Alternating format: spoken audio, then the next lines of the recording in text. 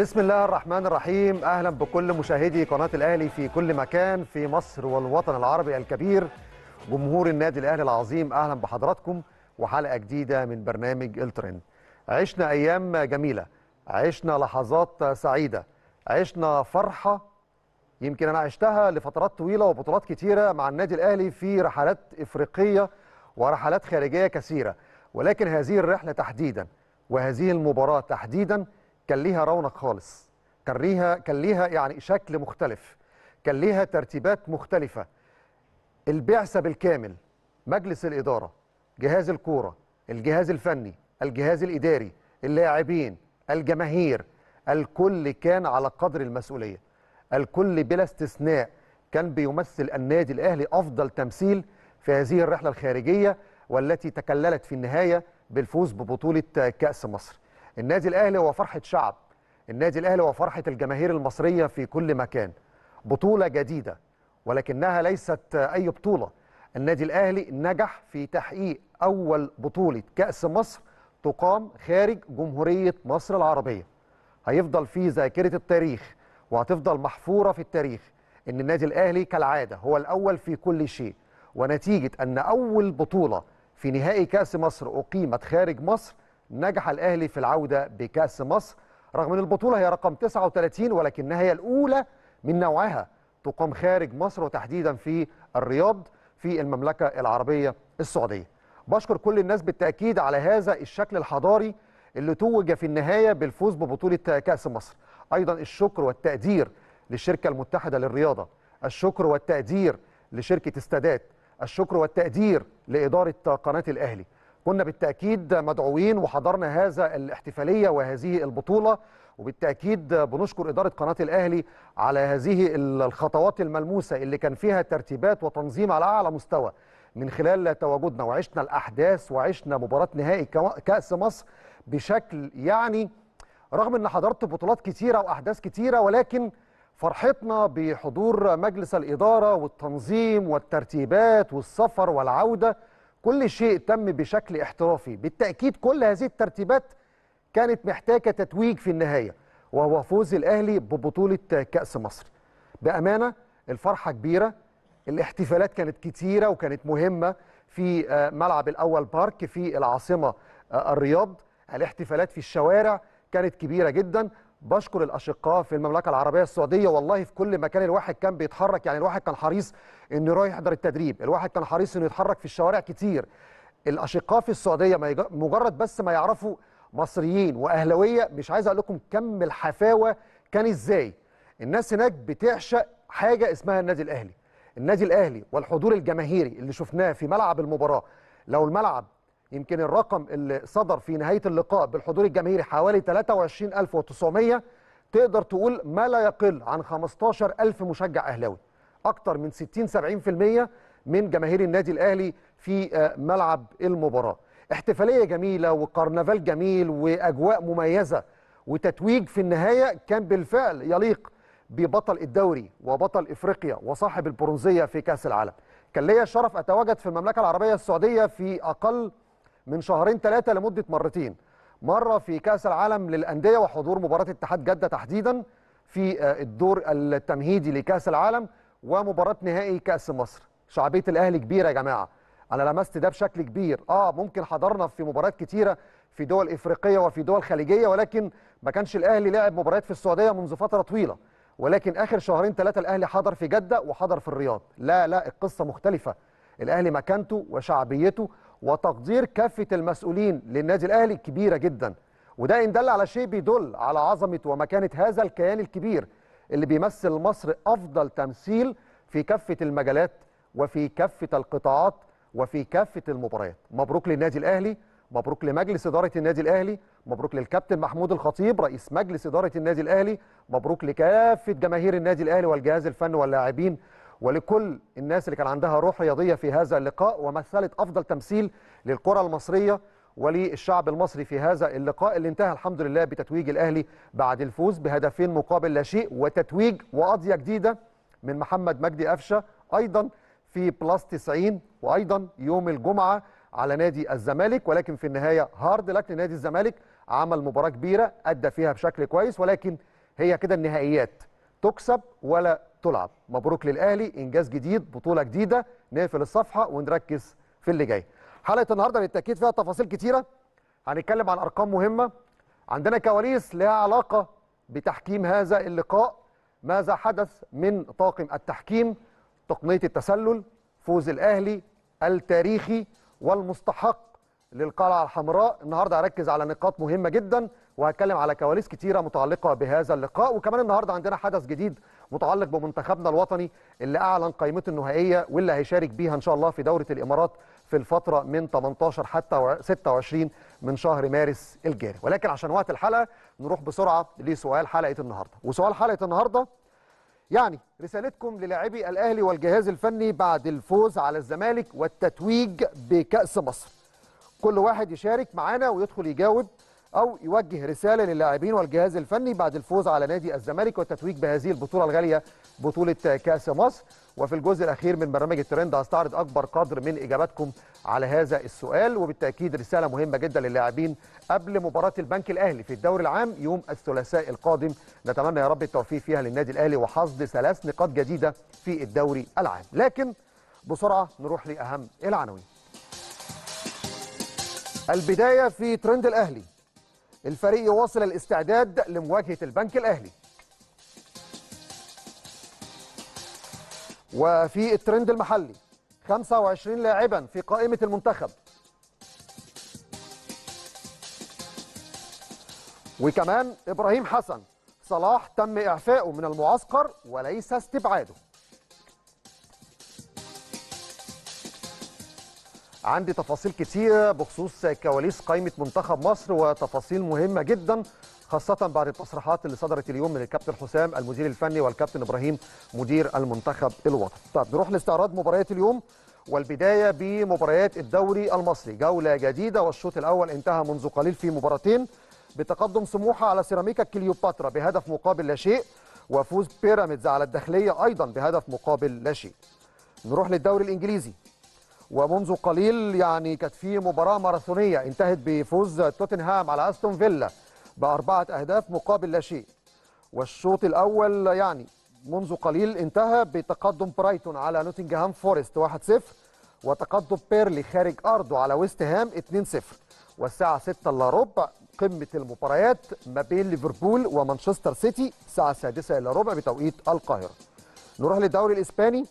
وديبورتيفو ألافيس فاز على رايو فاليكانو 1-0 والساعة 6 إلا ربع لاس بالماس هيلعب مع أتلتيكو بيلباو.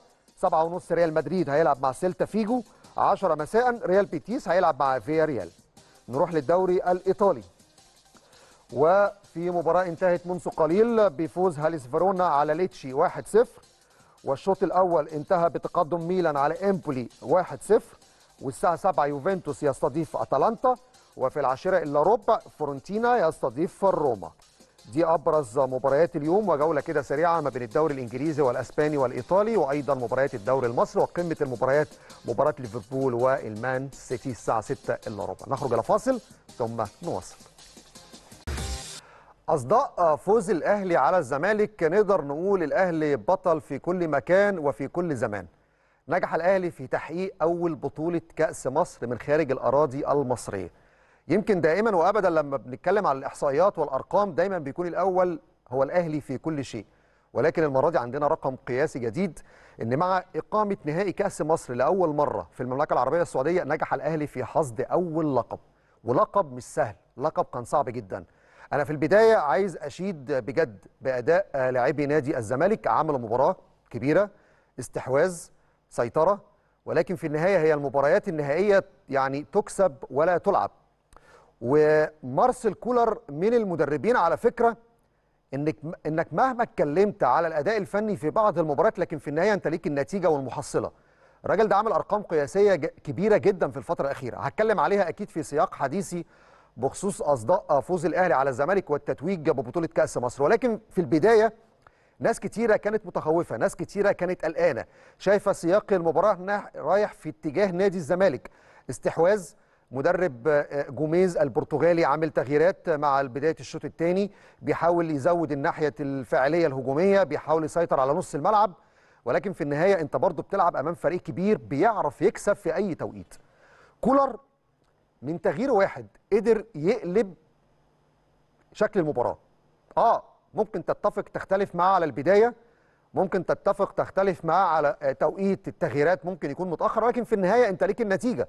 لما عمل تغيير ونزل محمد مجدي قفشة نزل مروان عطية نزل عمر كمال عبد الواحد الراجل قلب المباراة راسا على عقب وجه هدف قاتل في الدقيقة 87 والبداية والهدف من تمريره لقفشه وتسديدة من إمام عاشور. وسبحان الله الفترات الأخيرة كده كل لعيب بينضم للنادي الأهلي بيبقى عليه بروباجندا تلاقيه بيتألق كده وبيتعملق في مباراة القمة. لو نرجع كده بالذاكرة من أيام معتز إينو أول لقاء قمة ليه ما بين الأهلي والزمالك هدف.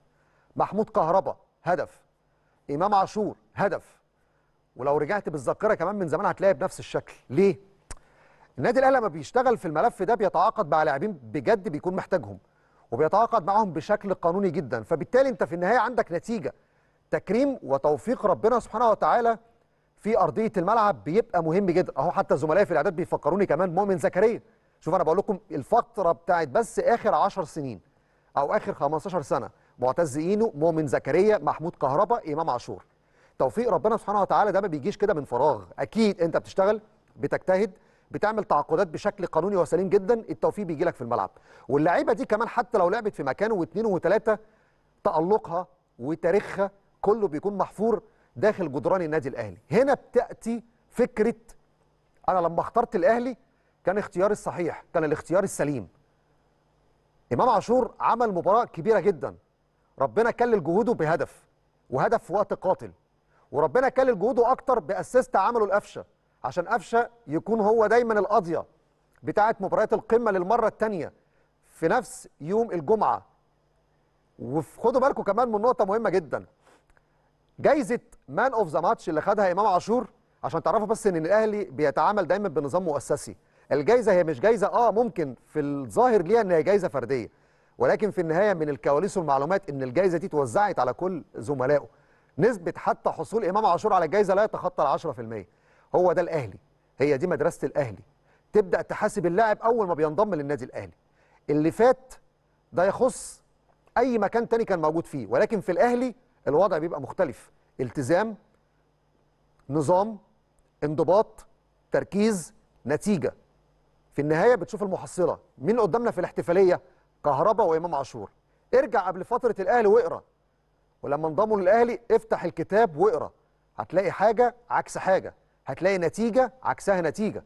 هتلاقي التزام وانضباط عكس حاجات كتيرة جدا. مبروك للأهلي. كان يستحق بالفعل هذا المكسب. وقلت قبل كده والمدربين الكبار اللي بيبقوا عارفين الكورة ولوغاريتمات الكورة عمر الكورة ما كانت بالاستحواذ. ممكن تلعب مباراة كبيرة ممكن تستحوذ ولكن هل عندك فرص نقدر نقول فرص كانت جديرة إن أنت تكون بطل لكأس مصر؟ لا. المباراة فنيا كانت أقل من المتوسط. ولكن في النهاية البطل عرف إمتى ينقض على الفريسه عشان يقدر يحرز بطولة غالية جدا يسعد فيها جماهيره.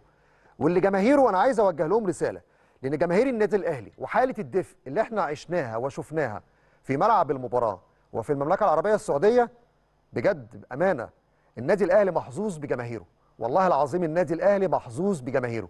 جماهير النادي الأهلي دي حاجة كده عاملة زي ال- الألماظ. قطعة الماس اللي لا يمكن يحصل فيها أي حاجة غلط. جماهير النادي الأهلي رغم إن في المباراة كانت في ظروف كتيرة جدا ويمكن نقدر نقول ودي رسالة لجماهيرنا. بعض الحاجات اللي ممكن تزعلك أو تضايقك بالعكس اعتبرها تحدي ليك عشان تخش وتشجع وتساند فرقتك. بعض الحاجات اللي ممكن تزعلك وتضايقك. وشوف وانت بتفكر وانت شايف الحاجات اللي ممكن عايز تفرح بيها وتساند فرقتك وتعمل كرنفال واحتفالية. لو انت شايف إن الظروف المهيئة حواليك مش مساعداك على كده خدها تحدي عشان تشجع فريقك. خدها تحدي عشان تشجع لعيبتك. ما تبقاش هي فرصة إنك تنتقد أو تهاجم نسبة من الذكاء ممكن تخليك التحديات دي فرصة إنك تشجع اللعيبة فرصة إنك تساند الإدارة فرصة إنك تكون في ظهر فريقك. الحمد لله الكرنفال انتهى على خير الفريق كسب رجع بالكاس والاحتفالية كانت في الملعب مع الجماهير. واللعيبة لما كسبت الكاس وراحت احتفلت احتفلت مع جماهيرها. اللي بالمناسبة عايز أوصل رسالة للجمهور كمان خدوا بالكم يا جماعة تأثيركم على اللعيبة كبير جدا. مش هقول بنسبة ده بنسبة ممكن تتخطى ال 100% لو في نسبة أكبر من كده. لأن اللعيبة لما بتنزل بتبقى عايزة تسمع حماس الجمهور. عايزة تسمع الجمهور بيقول إيه. عايزة تسمع الجمهور بيساندها وبيحمسها وبيحفزها. حتى لو المنافس داخل بتيفو داخل بصنارة داخل بكل شيء أنت في النهاية أنت الأهلي. لو بدون أي حاجة صوتك لوحده كفاية. وصوتك ومساندتك للعيبة هو أهم وأكبر داعم في اللحظة دي. وأي سلبية ممكن تحبط من معنوياتك لازم تاخدها حافز عشان تتحدى الصعوبات دي وتشجع لعيبتك. أكيد جماهيرنا أنا فاهم عايز أقول إيه. وجماهيرنا واعية. وجماهيرنا من الجماهير الذكية جدا وعايز أقول من الأساس الأساس الكبير لنجاح أي حاجة جوه النادي الأهلي هو جماهير النادي الأهلي. نثق فيكم دايما وكما عهدتونا دايما متواجدين مع النادي الأهلي في كل المحافل في مصر أو بره مصر. وأنتوا دايما اللاعب رقم واحد. دي أصداء فوز الأهلي على الزمالك وهارد لك مرة ثانية لنادي الزمالك. عمل مباراة جيدة معاهم مدرب جوميز مدرب كويس عمل تشكيلة كويسة ولكن في النهاية هي المباريات الكبيرة كده لازم يكون فيها بطل وهي مباريات تكسب ولا تلعب. الحاجة الثانية وهي متعلقة بالتحكيم. أنا من قبل المباراة على مدار أسبوع هنا في برنامج الترند كنت اتكلمت في تفاصيل كتيرة جدا وكل حاجة أنا قلتها حصلت بالملي. مفيش حاجة قلشت بلغة الكورة. كل حاجة قلتها حصلت بالملي. وفكرة الحكم العالمي أنا قلت لكم مفيش حاجة اسمها حكم عالمي. والحكم اللي جه كان حكم أقل من المستوى اللي الكل كان بيتوقعه. أنا بعتقد يعني ومن خلال رؤيتي في الملعب مستوى أقل من المتوسط. بدنيا ما كانش قادر يجري في الملعب. قراراته الفنية أقل من 6 من 10 7 من 10 التحكيم في هذا اللقاء كان ضد الأهلي. أنا بقولها بصوت عالي. التحكيم في هذا اللقاء كان ضد الأهلي. وأديكم ثلاث أمثلة بس الناس بتنسى ما بتاخدش بالها. اولا كل خبراء التحكيم قالوا إن الأهلي كان ليه ضربة جزاء في الشوط الأول لإمام عاشور. كل خبراء التحكيم بلا استثناء بلا استثناء. ولكن الحكم لم يتدخل الفار لم يتدخل. خدوا بالكم من مجريات المباراة وتوقيتات الفرص اللي ممكن تكون أهداف واللي تحسم المباراة مبكرا. خدوا بالكم من الحاجات التفاصيل الصغيرة دي لأن إدارة المباراة لأي حكم بتفرق في تقييمي أنا للأداء التحكيمي. ممكن الناس بتبص في الآخر على لقطة هدف. واللي بالمناسبة الهدف فيها سليم بنسبة 100% ولكن بصوا على أحداث المباراة. التحكيم كان عايز يعمل إيه؟ لا التحكيم كان ضد الأهلي. ضربة جزاء لإمام عاشور لم تحتسب. الفار لم يتدخل. نروح لحاجة ثانية الأهلي لما أحرز هدف المساعد الثاني الحكمة اللي كانت موجودة في المباراة رفعت تسلل رفعت تسلل رفعت تسلل يبقى الحكم إيه وقراره إيه؟ والتحكيم اللي معاه إيه؟ والمعاونين إيه؟ لا مش هدف. حاجة ثالثه في كورة جت في جنب وفي إيد حسين الشحات من خارج منطقة الجزاء. إحنا شايفينها وإحنا في الملعب. والمسافة ما بين خط منطقة الجزاء والكرة لما اصطدمت بجنب حسين وإيده حوالي مثلا متر. وفوجئت إن الفار بيراجع. فوجئت إن الفار بيراجع. كل ده على فكرة قبل الهدف ما يجيب قبل الأهلي ما يجيب هدف. كل ده قبل الأهلي ما يجيب هدف. وبالتالي الفار والحكم كان بيتمنى ركلة جزاء. لأن في أي حال من الأحوال بصوا أهي البداية معايا. دي ركلة جزاء بنسبة مليون في المية ومش كلام أنا بس ده كلام كل خبراء التحكيم. ومع ذلك الحكم بصوا المسافة اللي بين الحكم واللعبة أنت بتتكلم في مسافة صغيرة جدا ما حسبش حاجة. والفار ما كانش بيراجع حاجة الفار ما اشتغلش في اللعبة دي ما كانش بيراجع حاجة ما شافش حاجة. وضربة جزاء واضحة جدا. تفرق في بداية المباراة تفرق. بص التوقيت في الدقيقة 8 في الدقيقة 8 اللي عايز يركز ويشوف اداء تحكيمي يركز في التفاصيل دي. دي لعبة. دي لعبة. روح للعبة الثانية بتاعت حسين الشحات اللي كانت في الشوط الثاني حسين طالع من منطقة الجزاء وبيحاول يمنع الكرة إنها تتلعب كرة عرضية. جت في جنبه واترفعت وجت في إيده. جت في جنبه واترفعت جت في إيده. وهو حسين بره منطقة الجزاء. هنا الفار ما بيتدخلش. ما أنا عشان أقول لكم بس إن كان في حاجة مش مفهومة. طاقم تحكيم أقل من المتوسط مع كامل احترامي لكل الناس اللي كانت بتنادي مباراة كبيرة وعايزين حكم عالمي. أنا ما أعرفش الناس دي كان هدفها إيه أو أغراضها إيه لكن في النهاية ما سمعت الصوت حد لما شاف هذا الطاقم. بصوا اللعبة دي حسين فين هنا؟ ده بعد الخط ده بعد الخط بمتر. فار إيه اللي بيراجع لعبة زي دي؟ ده ده اختراق للبروتوكول يا جماعة. فار إيه اللي بيراجع؟ الكرة بعيدة. حسين مش داخل منطقة الجزاء عشان تشوف التقييم بتاعت اللعبة. هل إيده متعمدة ولا لأ؟ هل إيده مكبرة الجسم ولا لأ؟ هل حركته هنا سليمة ولا خاطئة؟ هو أساسا بره منطقة الجزاء أنت بتراجع إيه؟ لو جوه منطقة الجزاء أقول لك okay ده ضمن البروتوكول. لكن أنت بتراجع إيه؟ وطالما بتراجع دي طب ما رجعتش الأولانية ليه؟ بصوا التحكيم وتوجيه التحكيم بالشكل ده كان ماشي إزاي؟ ولما جبت هدف لما جبت هدف على طول قرار المساعد الثاني الحكمة ارفع تسلل ارفع تسلل. والفار راجع اللعبة في قد إيه بقى؟ في 3 4 دقائق تخيلوا ده لو حكم مصري بيراجع لعبة زي دي في أربع دقائق كان إيه اللي حصل فيه؟ محدش يتكلم. أربع دقائق الفار بيراجع. بتراجع إيه يا فندم؟ ده الكرة واضحة. إحنا في الملعب شايفينها الكرة واضحة. بتراجع إيه؟ كرة هدف. وسبحان الله على نفس الزاوية بتاعتنا. الكرة هدف. في كعب رجل لاعب. أعتقد كان عبد الله السعيد مغطي إمام عاشور. مغطي إمام عاشور. الكره اهي من أولها. اهي بصوا. وبتتلعب. وبتروح لمحمد مجدي قفشة. وهيعمل كره بينية لإمام عاشور. فين التسلل؟ هي الكره من أولها اهي بص بقى أول ما جت الكره جون بص قرار المساعد الثاني الحكم اللي كانت موجودة. رفعت على طول تسلل. على طول رفعت تسلل. والفار خد أربع دقائق والسؤال اللي بطرحه هنا. الأشقاء في السعودية في الدوري السعودي بيطبقوا تقنية خط التسلل وبيطبقوا تقنية النصف آلي السيمي اوتوميتد ليه ما اتطبقتش؟ والمعلومات اللي كانت عندي إن التقنية هتطبق لأن الملعب بالأدوات بالتقنيات موجودة. الملعب بالأدوات بالتقنيات موجودة. لجنة الحكام كانت out of control ملهاش علاقة بالمباراة اطلاقا على فكرة. بص الكره الكره هدف. الكره هدف. في واحد في واحد ما عندوش فكرة عن الكورة طلع بيقيس بالشبر. أنا أول مرة أشوف تسلل بيتقاس بالشبر. وبعدين في حاجة تانية غريبة جدا. هي لمسة اليد أو الكرة لو جت بالإيد بتحتسب هدف ولا بتبقى لمسة يد؟ هو الكرة لما بتيجي بالإيد لو لعيب متقدم بدراعه أو بإيده هنا الكرة بيتحسب التسلل على دراعه ولا الجزء اللي هو بس مسموح بيه إنه ممكن يلعب بيه الكوره وهنا بيبقى جزء قانوني؟ أول مرة أسمع واحد بيتكلم في الكورة بيتكلم في الكورة يقول لك إيده متقدمة أهي. يا راجل إيده متقدمة دي بقى أنت بتقول الهدف سليم.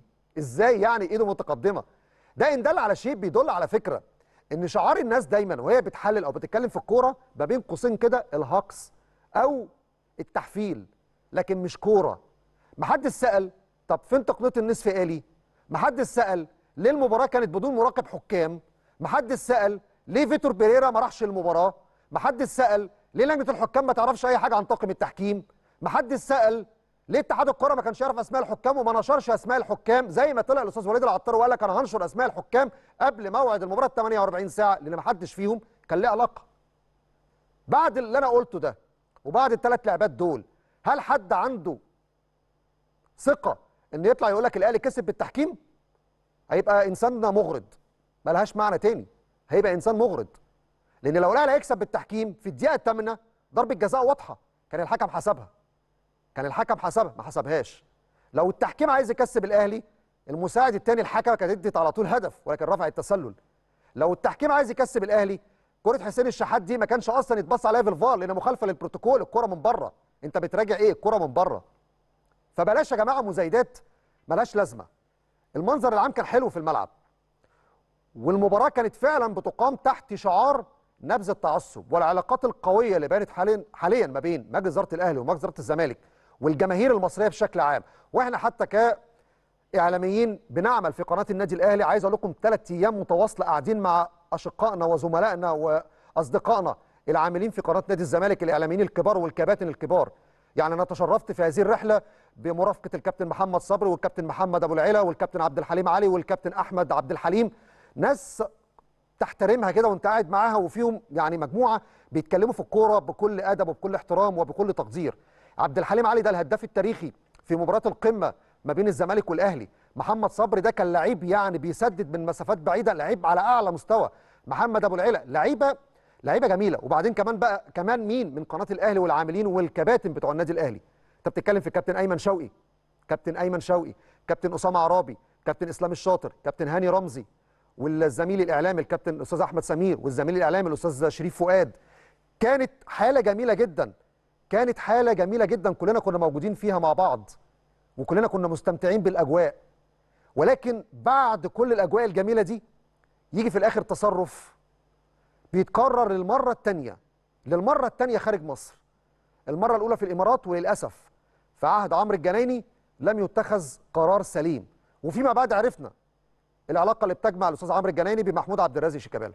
عشان كده وقلنا الكلام ده لما طلع الكابتن حسن شحاته قال لك لما كنتش بعرف أجيب شيكابالا في المعسكر وبتاع كان الاستاذ عمرو الجنايني هو اللي كان بيجيبه لي. فعرفنا وقتها خلاص ليه القرار طلع بالشكل ده في المرة الأولى. ولكن من آمن العقاب أساء الأدب. شوف بقى في المباراة الثانية في المملكة العربية السعودية بعد الجو الجميل ده وبعد العلاقة الطيبة اللي ما بين الأهلي والزمالك يخرج محمود عبد الرازق شيكابالا ومعاه دونجا ويعملوا تصرفات خارجه عن النص. أنا مستني أشوف قرار اتحاد الكرة اللي اتأخر لغاية دلوقتي. المباراة مر عليها 48 ساعة. ما تقوليش مستني تقرير الحكم. مفيش حاجة اسمها كده. وما بيكتبلكش تقرير وبيبعتوا لك بفاكس ولا بيحطوا لك في ظرف وبيسلموا على مبنى اتحاد الكورة. المباراة مر عليها 48 ساعة. الحالة اللي ما بين الأهلي والزمالك تسمح لاتحاد الكورة إن يتخذ قرار قانوني طبقا للائحة. قرار انضباطي يعيد المنظومة بالشكل السليم. الحالة الإيجابية دي ما ينفعش يكون في واحد خارج عن النص لاعب أو اتنين وكانت على مرأى ومسمع الجميع. ما تجيش تقول لي أصل المراقب ما كتبش. وبعدين ما تقوليش أصل بعد المباراة. ده كانت أثناء مراسم التتويج يعني جزء من المباراة. جزء من المباراة. فلما نشوف القرار وكل ما بيتأخر القرار كل ما بتسبب أزمة أكبر وكل ما بتسبب أزمة أكتر. ولو لعيب في الأهلي هقول كده. ولو لعيب في الأهلي هقول كده. مستنيين قرار انضباطي خاصة إن دي للمرة الثانية فالقرار اللي المفروض يكون قرار فيه انضباط أكتر وأكبر. لأن الموقف ما كانش كويس. وعلى فكرة جماهير الناديين طوال ال 90 دقيقة وقبل المباراة بساعتين مفيش خروج عن النص سواء جماهير الأهلي أو جماهير الزمالك. فما فيش مبرر لأي حد يقول إن ده ينفع إنه يحصل. ما فيش مبرر اطلاقا. كل الأجواء تقول إن النتيجة النهائية يبقى فيه روح رياضية. ولكن للأسف لعيب مش عايز اتكلم عليه. تاريخه الناس كلها عارفة ولكن مش معقولة لمره الثانية يحصل هذا الشكل خارج مصر مرة في الإمارات مرة في السعودية واتحاد الكورة ساكت ساكت ما بيتكلمش. وكل ما بيتأخر في إصدار القرار كل ما المشكلة بتكبر أكتر. فلازم قرار انضباطي قرار انضباطي خاصة لما بيتكرر المرة الثانية بيبقى لازم القرار يكون أشد من المرة الأولى. فهنشوف القرار إيه وهنشوف لجنة الانضباط هنشوف إدارة المسابقات هنشوف المراقب. اللي دايما بيكون موجود في المباريات الكبيرة وما أعرفش فكرة أستاذ عامر حسين لما بيحط في المباريات الكبيرة ده الهدف منه إيه؟ كابتن عادل محفوظ. ما أعرفش. لما نشوف في النهاية إيه القرار والأيام الجاية بالتأكيد هنتابع هذا الملف لأن خلاص بقى فكرة الإساءات وفكرة الخروج عن النص كفاية زهقنا منها بقى. عايزين ملاعب نظيفة عايزين لعيبة محترمة عايزين نتفرج على كرة محترمة. تليق بجد بالمنتج اللي إحنا شفناه في الرياض. دي كانت كل الأخبار المتعلقة بكواليس المباراة. عايز أطلع لحاجة سريعة جدا قبل ما أطلع لفاصل. تعالوا بصوا كده على أرقام كولر مع النادي الأهلي. أرقام كولر مع النادي الأهلي. كولر الأول معاه ضد الزمالك. هو لعب أربع مباريات ضد نادي الزمالك. لعب لقاء سوبر مصري في الإمارات كان ساعتها بيدرب الزمالك فيريرا. الأهلي كسب 2-0 وده كان أول بطولة سوبر لكولر مع الأهلي. لعب مع الزمالك في الدوري وكان ساعتها برضه فيريرا هو المدير الفني للزمالك كسبوا 3-0 فده تاني فوز لكولر مع الأهلي ضد الزمالك. نروح للمباراة الثالثه كانت في الدوري الدور الثاني كان ساعتها اسوريو هو المدير الفني للزمالك وكسبوا 4-1 ودي المباراة الرابعة جوميز مدرب الزمالك كولر كسبوا 2-0 يعني كولر كسب الزمالك أربع مباريات متتالية أحرز 11 هدف دخل مرماه هدف وحيد وكسب ثلاث مدربين تولوا تدريب الزمالك. أرقام قياسية مهمة جدا نركز عليها عشان ندي كل واحد حقه. نروح كمان لبطولات الأهلي مع كولر في الفترة الأخيرة. بصوا يا جماعة مع كولر الأهلي كسب دوري كسب اتنين كاس مصر على مين؟ على الزمالك وعلى بيراميدز. بصوا اللي بعده كمان كسب ثلاثة سوبر مصري ثلاثة سوبر مصري على الزمالك وبيراميدز وفيوتشر في الدورة الرباعية. كسب دوري أبطال إفريقيا حقق برونزية كأس العالم للأندية. حاجة أخيرة؟ ده الكلام ده على فكرة يا جماعة بصوا قد إيه ده في سنة ونص أو أقل. يعني الأرقام دي في سنة ونص. إحنا مش بنحسب فترة أربع سنين أو خمس سنين أو عشر سنين ولا مشروع مثلا بقاله خمس سنين ما حققش حاجة. لا ده إحنا بنتكلم في سنة ونص. أربع مباريات قمة كسب الزمالك و11 هدف. شوفوا كام بطولة. سبع بطولات. سبع بطولات. طيب على فكرة كمان من النقاط الإيجابية جدا مجلس الاداره الأهلي برئاسة الكابتن محمود الخطيب منذ أن تم انتخابه في 2017 حتى 2024 مر سبع سنين اتحقق كام بطولة؟ 17 بطولة. أربعة دوري ثلاثة كاس خمسة سوبر مصري ثلاثة دوري أبطال إفريقيا اثنين سوبر إفريقي ثلاثة برونزية كأس عالم أندية. لك الفخر أن تشجع النادي الأهلي وأن تنتمي لهذا الكيان الكبير. نخرج إلى فاصل ثم نواصل.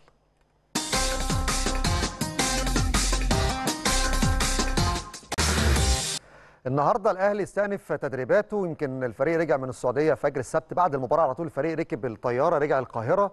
خد أجازة السبت النهارده اتمرن الحد بكرة يدخل معسكر عنده مباراة يوم الثلاث مع البنك الأهلي الساعة 9:30 مساء إن شاء الله على استاد القاهرة الدولي. النهارده الفريق استأنف تدريباته صباحا بعد الراحة السلبية لمدة 24 ساعة كانت في محاضرة نظرية في بداية التدريب وبعد كده كان في تدريبات بدنية واستشفائية في الجيم على هامش المران الجماعي على فكرة الحراس الأربعة كانوا موجودين في المران مصطفى شوبير حمزة علاء مصطفى مخلوف محمود الزنفلي كانت في تدريبات بدنية متنوعه فنية متنوعة تحت إشراف ميشيل يانكور. وبعد كده التدريب اختتم بفقرة مران تقسيمة كده شارك فيها مجموعة من اللاعبين بفريقين. قدامنا هو ده جانب من التدريبات. قفشة بقى وصاحب القضية الهدف الثاني في مرمى نادي الزمالك عشان يحسم اللقاء والمباراة والبطولة لصالح النادي الأهلي. لعيب جميل. قفشة لعيب جميل وربنا بيكرمه وبيوفقه وبيديله كده لحظات تاريخية عشان يفضل جمهور الأهلي فاكره زي ما افتكر نجوم كبيرة وعديده على مدار سنوات طويلة. قدامنا أهو اللعيبة موديست وكريم فؤاد ويعني الحراس كمان اللي موجودين الأربعة قفشة ومحمود متولي وشايفين رضا سليم. على فكرة رضا سليم كان موجود في على دكة البدلاء في ماتش الأهلي والزمالك بس ما كانش يقدر يشارك. فيعني كولر كان بيكمل شكل القايمة لأن يعني رضا كان عنده شكة كده خفيفة في العضلة. لكن الحمد لله شفي منها وأصبح دلوقتي جاهز للمشاركة الجماعية. الجهاز الفني بقيادة الداهية. أنا هسميه من هنا ورايح الداهيه مارسيل كولر. كابتن خالد بيبو بنقول لك مبروك يا كابتن خالد. اداء اداري موفق جدا في الفترة الاخيره مع فريق الكوره. كريستو محمد مجدي قفشه كريم فؤاد زي ما لكم هم المجموعه. اكرم توفيق. في كمان مروان عطيه احمد نبيل كوكا يعني بنقول لك مبروك البطوله مع النادي الاهلي. وعمر كمال عبد الواحد ومحمود الزنفلي يمكن اول بطوله ليهم في النادي الاهلي. لسه بنتكلم اهو في أيام قليله مع انضمامهم للاهلي. على طول خدوا اول بطوله ليهم مع النادي الأهلي. ده الجانب المتعلق بالتدريب. النهارده اليو ديانج رجع للقاهرة خلاص مساء أمس السبت بعد اجراء جراحة ناجحة باستئصال جزء من غضروف الركبة. دكتور أحمد جاب الله طبيب الفريق قال إن ديانج هيبدأ اليوم تنفيذ البرنامج العلاج الطبيعي والتأهيل البدني المحدد لهم من بعد إجراء الجراحة. ابدأ احسب كده إن النهارده 10 مارس اولى على أوائل شهر خمسة. نبدأ نشوف ديانج إن شاء الله يكون جاهز للتدريبات الجماعيه ومن ثم المشاركة مع الفريق في المباريات. بنتكلم يعني في حوالي شهرين بحد أقصى يكون أليو ديانج جاهز إن شاء الله مع النادي الأهلي. طب نروح بقى لملف المنتخب الوطني اللي فيه كلام مهم جدا لأن النهارده الكابتن حسام حسن أعلن قائمة المنتخب. قبل ما أدخل في أي تفاصيل تعالوا بس الأول نشوف القائمه القائمه فيها 25 لاعب. ضمت مين؟ أربع حراس في حراسة المرمى محمد عواد محمد أبو جبل المهدي سليمان مصطفى شوبير. ومصطفى شوبير انضم في اللحظات الأخيرة. والنهاردة عايز أقول لكم يعني بشكل رسمي تقدروا تقولوا كده إن القرار الوزاري المتعلق بمصطفى شوبير عشان يسافر مع المنتخب اتعمل النهارده عشان يرافق البعثة بإذن الله اللي هتشارك في الدورة الودية في الإمارات. بالتوفيق لمصطفى شوبير بطولة جديدة ليك مع النادي الأهلي وأول انضمام ليك في معسكر المنتخب الأول. في كمان في خط الدفاع محمد هاني أكرم توفيق محمد حمدي محمد شكري أحمد حجازي. منعم رامي ربيع أحمد رمضان بيكهام. خط الوسط حمدي فتحي مروان عطية إمام عاشور مجدي قفشه نبيل كوكا. خط الهجوم تريزيجيه مصطفى فتحي حسين الشحات عمر مرموش مصطفى محمد أحمد عاطف محمد شريف محمد الشامي. 25 لاعب. من ضمنهم 10 من النادي الأهلي وحارس مرمى ولاعب واحد فقط من نادي الزمالك هو محمد عواد. رقم لم يتكرر منذ فترة الكابتن حسن شحاتة. 10 لعيبة من النادي الأهلي في قائمة منتخب مصر الرسمية اللي هتشارك في دورة رسمية ودية في دولية أقصد في الإمارات العربية المتحدة. في كلام كتير في كواليس كتيرة ولكن نطلع نسمع ونشوف. الكابتن حسام حسن قال إيه؟ والكابتن إبراهيم حسن قالوا إيه في المؤتمر الصحفي؟ عشان عندنا تعقيب مهم جدا على هذه الاختيارات. وعلى بعض الأخبار والكواليس خاصة فيما معناه اعتذار صلاح عن الانضمام للمنتخب الوطني. لا هو هو مش استبعاد يعني استبعاد آه، زي ما بتقول في استبعاد في فرق في الاستبعاد دلوقتي مثلا في لعيب معين كان موجود في المنتخب وأنت اختيارك الفني مش موجود. هو القصة الاستبعاد بناء على طلب آه، محمد صلاح.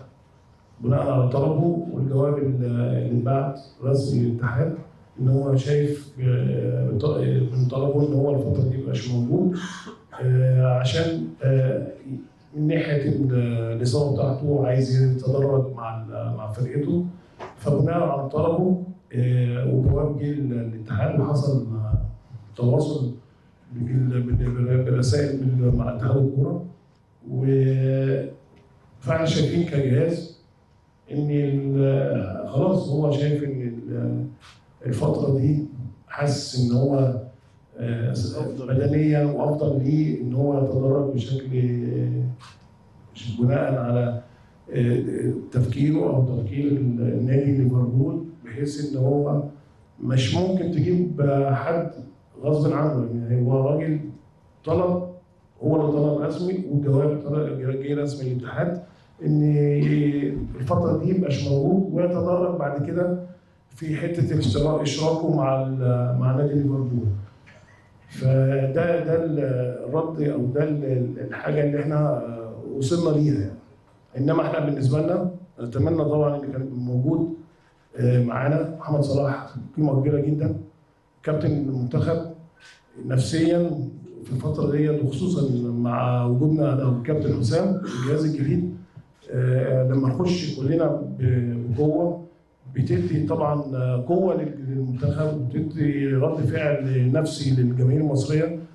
فكنا نتمنى يبقى موجود. وفي نفس الوقت إحنا مش عايزين نبقى موجودين آه، عائق لمصلحته. وزي ما بقول باكد بناء على طلبه بناء على طلب آه، هو بصفه خاصه يعني. سيبك من ليفربول آه، بناء على طلب هو الفترة دي مش عايز يبقى موجود فيها عشان ينزل بشكل تدريجي مع ليفربول. فبناء كده بقى كجهاز ومع مع بالتنسيق مع ال ال- ال- الاتحاد المجلس اداره اتحاد الكورة بناء على كده الوضع يبقى هو ده الوضع الحالي عشان تبقوا الأمور واضحة يعني. أكيد طبعا الفترة اللي فاتت اشتغلنا أنا والجهاز معايا إن إحنا نشوف ال- ال- الأصلح واختياراتنا من خلال متابعتنا لمباريات الدوري ومباريات أفريقية للانديه المشتركة في أفريقيا زي الأهلي والزمالك وبيراميدز وفيوتشر. وأعتقد إن إحنا كلنا كلنا يعني المنظومة كلها جمهور وإعلاميين وجهاز فني وكل الناس تابعت المباريات. وشفنا اللاعبين المحليين وتابعنا اللاعبين المحترفين في الخارج.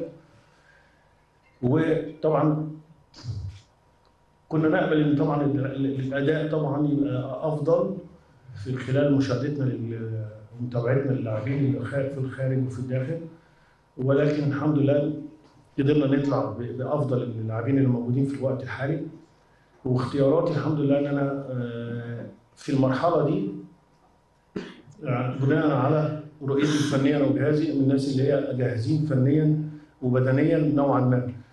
طبعا كل اللاعبين اللي هم مش موجودين معانا في في القائمه اللي اخترناها كلهم متاحين لينا. مفيش حد مستبعد. آه، كل اللاعبين حتى لو أنتوا بعد كده أكيد هتسالوا طبعا بالأسامي أو أسامي معينة آه، تواصلنا حتى مع بعض اللاعبين من خلال الكابتن إبراهيم.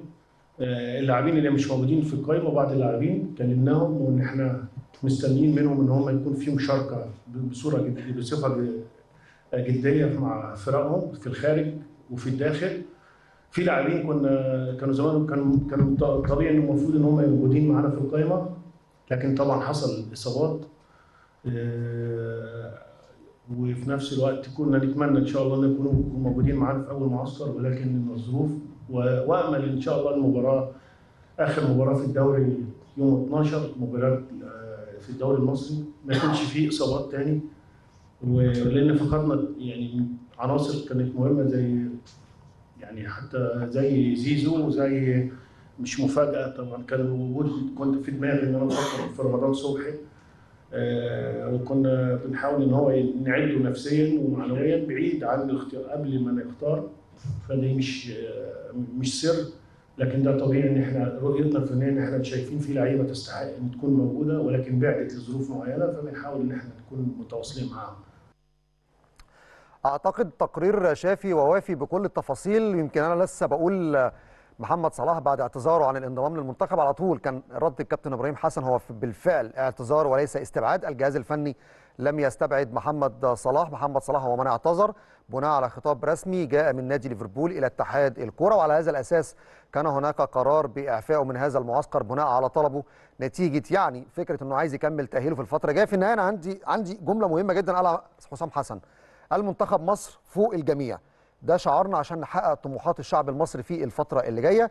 نتمنى التوفيق إن شاء الله للمنتخب. بمناسبة المحترفين على فكرة الكلام اللي اتقال قبل كده أصل الكابتن إبراهيم تواصل مع كل المحترفين. معلوماتي واللي قاله النهارده الكابتن إبراهيم مش كل المحترفين. تواصل مع عدد المحترفين إن في ناس ما ردتش أصلا.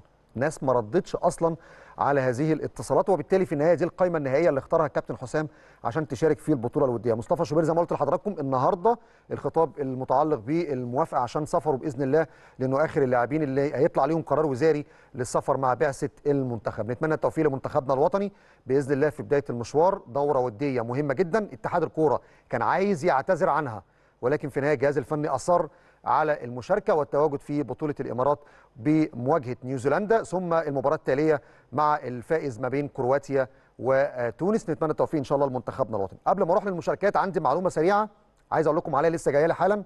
اتحاد الكورة خلال ساعات اتحاد الكورة خلال ساعات هيناقش تقرير الكابتن عادل محفوظ واللي تضمن إدانة إدانة لدونجا ولشيكابالا. وأيضا إدانة عدد من لاعبي نادي الزمالك لم يتواجدوا لاستلام ميداليات المركز الثاني بعد خسارة بطولة كأس مصر.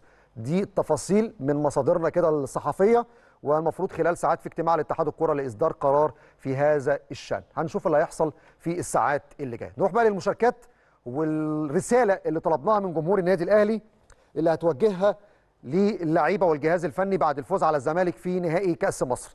ناصر بيقول السلام عليكم. برغم ظروف المباراة والمستوى المتوسط لمعظم لاعبتنا بس ما زي زي ما عودونا البطل بيحسن في أي وقت. مبسوط جدا بتالق إمام عاشور وحصوله على رجل المباراة وتغييرات مستر كولر فرقت في الدقائق الحاسمة. وألف مبروك للأهلي وجمهوره الكبير. هجري بسرعة في المشاركات. مح محمد بيقول انجزتم المهمه كالعادة بنجاح. نروح ل مديحة عثمان بتقول مليار مبروك للأهلي وجمهوره كأس مصر. ومن بطولة لبطولة بإذن الله أنتم اللي دايما مفرحينا ربنا يكرمكم ويوفقكم ورمضان كريم. كل سنة وحضراتكم طيبين. آه يوحنا بيقول ألف مبروك كأس مصر 39 والبطولة ال 150 وبالتوفيق في القادم. أرقام قياسية. محمد يحيى بيقول على بركة الله سيروا للبطولة اللي بعدها وعلى بركة الله الله معكم. وإحنا في ظهركم وسند ليكم دايما.